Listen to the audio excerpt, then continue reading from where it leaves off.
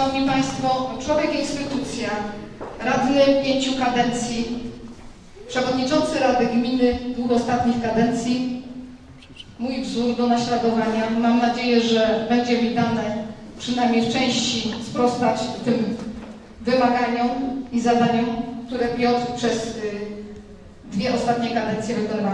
Piotrze, wybrałeś powiat, nad czym ubolewamy, ale życzymy Ci tam wielu sukcesów, wielu satysfakcji, żeby Ci było tak dobrze jak w gminie. Serdecznie dziękuję Państwu.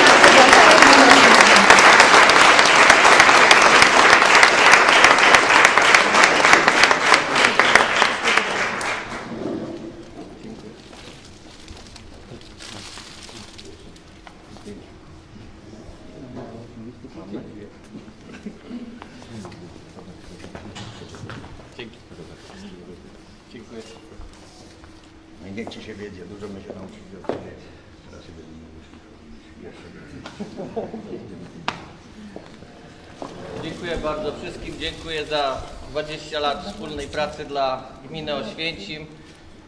Mam nadzieję, że wniosłem coś do tej gminy, co zostanie na wiele, wiele lat i za wszystką pracę, za, za, za zaangażowanie, za współpracę.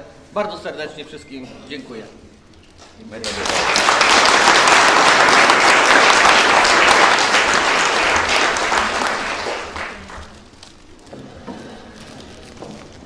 Bardzo proszę o przewodniczącego Gminnej Komisji Wyborczej pana Henryka Smolarka o wręczenie zaświadczenia o wyborze na stanowisko wójta gminy Oświęcim panu Mirosławowi Smolarkowi.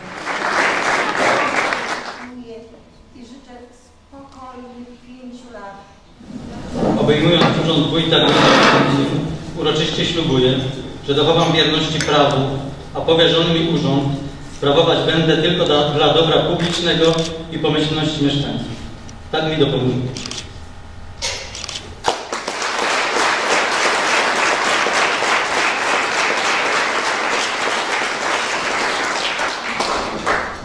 Pani Przewodnicząca, Szanowni Radni, zaproszeni goście, mieszkańcy gminy Oświęcim. Na początku chciałbym wspomnieć o tych, którzy byli bardzo zaangażowani w sprawy gminy, ale niestety nie ma ich już pośród nas. A warto o nich pamiętać. Byli dla mnie inspiracją do działania w różnych obszarach życia społecznego. To Adam Wysoko z Zaworza, przewodniczący Gminnej Spółki Wodnej, wieloletni sołtys z Zaworza, człowiek, który jeszcze niedawno pracował razem z nami w komitecie wyborczym, zbyt wcześnie odszedł. To również Józef Kozioł Brzezinki, honorowy obywatel gminy Oświęcim, prezes Stowarzyszenia Osób Poszkodowanych przez III Rzeszę, radny społecznik. Wiele razy przeprowadziliśmy razem.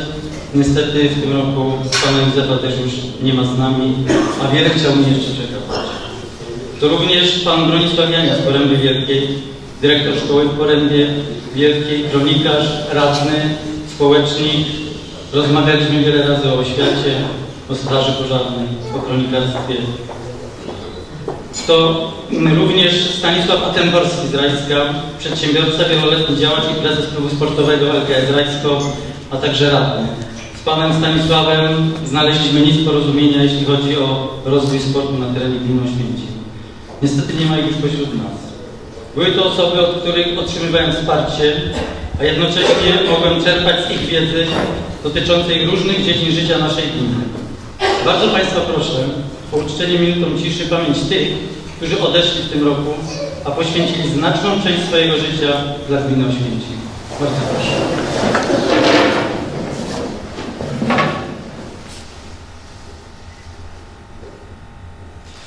Bardzo Państwu dziękuję.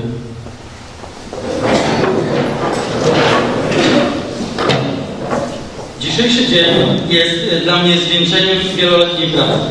Mojej, ale także tych, którzy uczyli mnie stawiać pierwsze kroki w samorządzie. Dziękuję wszystkim, którzy wzięli udział w wyborach, poczuciu odpowiedzialności za losy swojej małej ojczyzny, jaką dla nas jest gmina Oświęcim. Wynik wyborczy, jaki osiągnął nasz komitet, czyli wygrana w pierwszej turze oraz wprowadzenie dwóch trzecich radnych z naszego komitetu do Rady Gminy, to ogromny sukces, ale jeszcze większe zobowiązanie wobec wyborców. Sukces zawsze cieszy, ale żeby trwał długo, trzeba do niego podejść z pokorą i poczuciem odpowiedzialności za wszystko. Nie ma tu miejsca na triumfalizm, a rozpoczyna się ciężka praca, by sprostać oczekiwaniom i nie zawieść. Współpracuję z wieloma środowiskami. Jestem otwarty na współpracę z każdym, kto chce pracować dla dobra naszych mieszkańców. Szacunek dla ludzi i umiejętność wsłuchiwania się w ich potrzeby to klucz do wzajemnego zrozumienia i bezkonfliktowego rozwiązywania problemów. Jestem dumny z prężnie działających w naszej gminie ochotniczych straży pożarnych, ludowych klubów sportowych, kół gospodyń wiejskich, stowarzyszeń emerytów i rencistów oraz uniwersytetów trzeciego wieku. Wasze zaangażowanie jest zauważone i powinno być w odpowiedni sposób docenione. Zamierzam organizować cykliczne spotkania z osobami niepełnosprawnymi, z seniorami i z młodzieżą.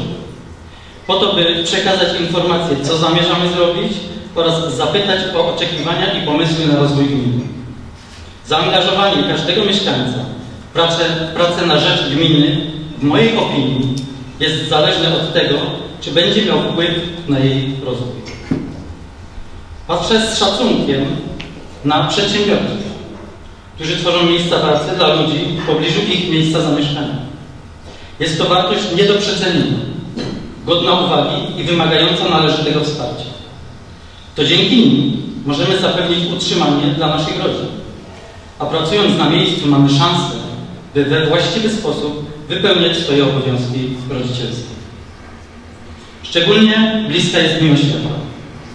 W tej kwestii musimy pracować tak, by nie zmarnować żadnego talentu. Chcę, by uczniowie kończący nasze szkoły mieli otwartą drogę do najlepszych szkół średnich, a później uniwersytetów. Mam nadzieję, że część z nich w przyszłości będzie pracować dla gminy Oświęcim, dla naszego wspólnego dobra. Zamierzam kontynuować rozpoczęte przeze mnie przywracanie funkcjonowania służby zdrowia na terenie gminy Oświęcim. Dołożę starań, by ułatwić mieszkańcom całej gminy dostęp do lekarza pierwszego kontaktu, a dzieciom w wieku szkolnym również do stomatologa. Od dzisiaj dla mnie następuje czas wytęż- wytężonej pracy, po to, by sprostać oczekiwaniom, jakie przede mną stawiają mieszkańcy gminy Oświęcim. Szacunek dla ludzi będzie wyznacznikiem mojej pracy w każdej dziedzinie życia. Chcę, by mieszkańcy odczuli, że traktowani są podmiotowo, a nie przedmiotowo. Z kolei wierzę, że dobra współpraca z radnymi, sołtysami, prezydentem Oświęcimia, panem Januszem Kierutem i zarządem powiatu zaowocuje rozwojem gminy w wielu obszarach. Ważnym elementem współpracy jest właściwy przepływ informacji pomiędzy wójtem, pracownikami, radnymi i sołtysami oraz branie odpowiedzialności za podjęte decyzje. Dlatego dzisiaj biorę odpowiedzialność za pięcioletnią kadencję, która jest przed nami. Dziękuję bardzo. Szanowni Państwo, nasunęła się mi jeszcze taka refleksja, że przez ostatnie kilkanaście lat, może nawet dwadzieścia, przygotowywałem się do pracy w samorządzie. Na początku zaprosił mnie do pracy w samorządzie pan Jan Fabiak, który jest tutaj dzisiaj z nami, do pracy w komitecie Andrzeja Wiebrzyckiego, który również jest dzisiaj z nami. Bardzo dziękuję obydwu panom, że tutaj są. Bo to oni nauczyli mnie stawiać pierwsze kroki w samorządzie. Później zostałem radnym y, Rady Sołeckiej. Z kolei po kilku latach zostałem radnym gminy Oświęcim. Będąc radnym gminy Oświęcim, zostałem dyrektorem Ośrodka Sportu i Rekreacji w Kętach i miałem możliwość porównywania pracy samorządu w gminie Oświęcim i pracy samorządu w gminie Kęty. Później zostałem zastępcą wójta gminy Oświęcim i znowu z innej perspektywy patrzyłem na pracę samorządu. Po tym, jak w mojej ocenie trzeba było powiedzieć nie, powiedziałem nie, bo formuła współpracy się wyczerpała. Zacząłem pracować w biurze poselskim pana Marka Sowy i znów z innej spe- perspektywy mogłem zobaczyć samorząd.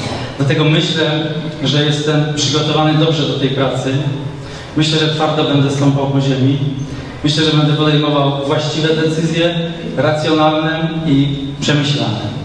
Niemniej jednak zawsze potrzebny jest jakiś wentyl bezpieczeństwa i dlatego mam tutaj prośbę do tatka Dziędziela, który tutaj dzisiaj jest z nami, e, który jest dla mnie autorytetem w wielu dziedzinach, że jeżeli okazałoby się, że moja funkcja zaczyna mnie zmieniać, lub po prostu, gdybyś zobaczył, że coś mi się w głowie poprzewracało, Tadeusz, dzwoń do mnie i mów, tak jak ty to potrafisz, w prostych żołnierskich słowach. Bo ty oceniasz rzeczywistość w sposób właściwy, taka jaka ona jest, a nie taką, jaką chcielibyśmy ją widzieć. Myślę, że od dzisiaj już z pewnym niepokojem będę odbierał telefon od tatka, ale myślę, że tak trzeba. Szanowni Państwo, dziękuję wszystkim, którzy tutaj dzisiaj są. Mojemu komitetowi wyborczemu, radnym, którzy tutaj dzisiaj otrzymali ślubowanie, szczególnie z tym, którym, z którym przeszliśmy drogą, dro- długą drogę, tak jak z Jackiem Mydlarzem, z Pawłem Jezierskim czy z Bernatką. W naszym komitecie był jeszcze Staszek Nowodarski, który tutaj jest i cieszę się, że jest z nami, że jest Was tyle dzisiaj pośród nas. Dziękuję kołom gospodyń, ochotniczym strażom, tym wszystkim, którzy przyczynili się do pracy, Jankowi Zielińskiemu, od którego uczyłem się e, pracy w samorządzie. Ale szczególnie chcę oczywiście podziękować tym, bez których mnie tutaj by nie było. Bardzo dziękuję mojej małżonce. Za to, że jesteśmy razem i że to ona w zasadzie bierze na swoje barki wszystko, co najtrudniejsze w naszym